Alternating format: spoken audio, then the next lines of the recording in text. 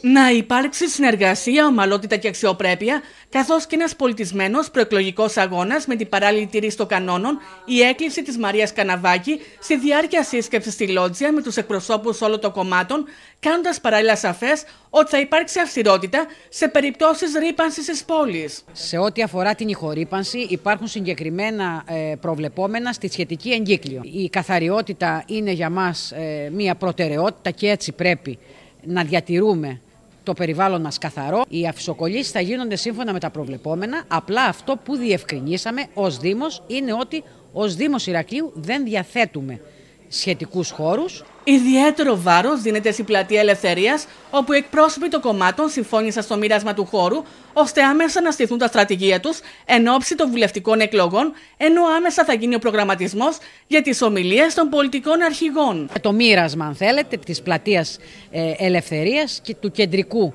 σημείου όπου όλα τα κόμματα θα, θα δημιουργήσουν εκεί τα περίπτερά τους, τα σημεία αναφοράς τους και επίσης εδώ πρέπει να πούμε ότι δεν υπήρξε καμία διαφωνία. Ο καθένας πραγματικά πήρε ό,τι ήθελε. Στο επίκεντρο της διακομματικής βρέθηκαν πλατείες και άλλοι κοινόχρηστοι χώροι, καθώς και αίθουσες του Δήμου, οι οποίες πρόκειται να διατεθούν δωρεάν για τις ανάγκες προβολής των πολιτικών κομμάτων, όπως ο πολυχώρος της παλιάς Λαχαναγορά, ο θεατρικός σταθμός, το πολύκεντρο νεολαία και όχι μόνο.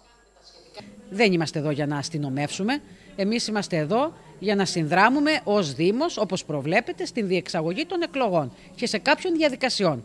Από εκεί και πέρα, προφανώς, ε, όλοι ξέρουμε τα όρια μας και τι πρέπει να τηρούμε. Υπήρξαν ε, δύο με τρία κόμματα τα οποία έχουν επίσημη ενημέρωση και έχουν οριστικοποιήσει τις ομιλίες των ε, αρχηγών τους, τις έχουν ετηθεί και είπαμε μάλιστα να, να γίνει και μια συνεργασία και μια συνεννόηση που να, όπως καταλαβαίνετε να μην συμπέσουν οι αρχηγοί των κομμάτων και οι τελευταίες προεκλογικές τους ομιλίες. Ωστόσο, για κοινόχρηστους χώρους εντός του ιστορικού κέντρου, όπως στην πλατεία Λιονταριών, στην 25η Αυγούστου έξω από τη Λότζια και όχι μόνο, οι εκπρόσωποι των πολιτικών κομμάτων θα πρέπει να πάρουν άδεια από την εφορία αρχαιοτήτων. Από την πλευρά μας, ως Δήμος Ηρακλείου, το είπαμε και το εννοούμε, ότι είμαστε στη διάθεση όλων των κομμάτων ε, με την ε, σωστή και την ίση μεταχείριση προς όλους.